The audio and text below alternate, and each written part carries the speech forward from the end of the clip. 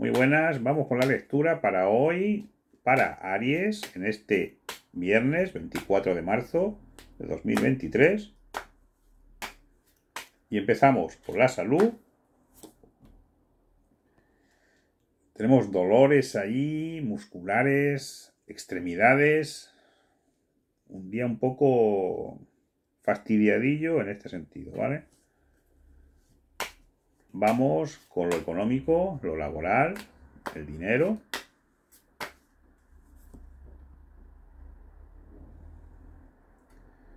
Hay problemas, quizá un juicio, un conflicto ahí.